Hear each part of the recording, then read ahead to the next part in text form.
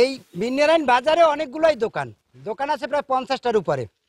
এই দোকানের দোকানের জন্য একটা জেলা পরিষদের বাথরুম দিয়েছে, একটা একটা স্কুলের বাথরুম ছিল।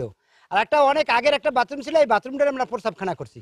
প্রসাবখানা করছি এই পেট দোনোটা বাথরুম ভাঙ্গিয়া, ওই প্রসাবখানা সহকারে ভাঙ্গিয়া সেই এই খাস সম্পত্তিতে মার্কেট করছে, এই মার্কেট, আবদুল্লাহ মার্কেট। এবং ওইগুলি যে ওই হোটেলটা আছে, ওই হোটেলটা হলে স্কুলের বিকেসিস মাধ্যমিক বিদ্যালয়ের সম্পত্তি। এইটাই করছে হোটেল। হোটেল করিয়া এখন এই হইতে এই জায়গায় দিয়ে এক একর পাঁচ পঞ্চাশ শতাংশ জমি কিনছে। উনি এক একর কিনছে, একটা কাঠ, ভূমিহীনদের কাঠ কিনে লইছে উনি। কোনো এই ভূমিহীনদের কাঠ কোনো হস্তান্তরযোগ্য না উনি কিনছে।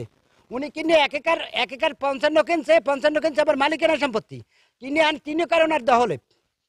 তিনি কার দহলে আর ওই চরের ভিতরে চরের ভিতরে বাটা ওই যে ভূমিহীনদের দুইটা কাঠ কিনছে, দশটা কাঠ দেওয়া দিচ্ছে পাঁচটা কাঠ কিনছে, পঁচিশটা দেওয়া দিচ্ছে এবং যত বাটা সম্পত্তি আসলে বাসা স্টেশনে আমাকে একটা রেখা দিচ্ছে বাটা সম্পত্তির। বাটা সম্পত্তিটা সম্পূর্ণটা উনি ওই কাঠের মাধ্যমে নিয়ে গেছে। নিয়ে যাইয়া ওরাও তো নেছি। কোনো কোনো লোকের ওই কাঠ কিনতে যাইয়া বাড়িঘর শুদ্ধ, জয়নাল মোল্লা আছে মোল্লা বাড়ির, জয়নাল মোল্লার বাড়ি ঘর শুদ্ধ লেখকে লেগে গেছে। এরকমের অনেকের তা অনেক। বলার বলার পরে এই যে সবাই ভুক্তভোগী আছে, সবার কাছেই আপনি জিজ্ঞেস করেন।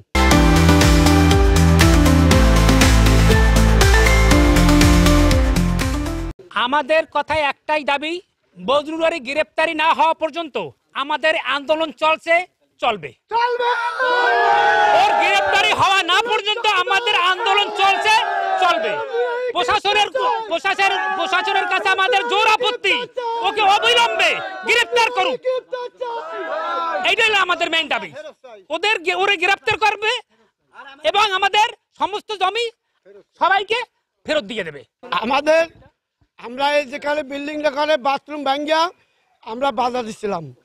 আমাকে বাধায় আওয়ামী লীগের আমলে আমাকে লড়াইছে, পুলিশ দিয়া আমাকে নামে দুইটা মামলা দিছে।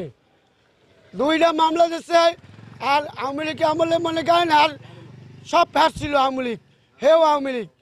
কিন্তু আজ কয় আমরা বিএমপি হ্যাঁ আওয়ামী লীগের ব্যানার আনলে পোস্টার আনলে সব কিছু আসলে।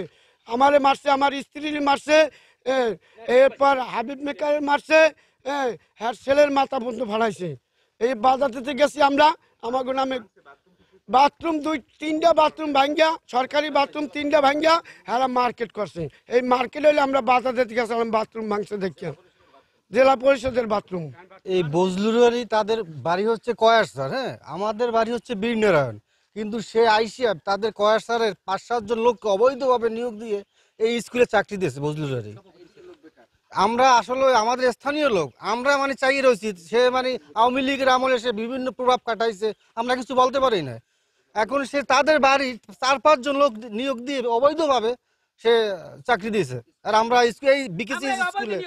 আমরা এই অবৈধ নিয়োগ চাই না আমরা অবৈধ নিয়োগ বাতিল চাই।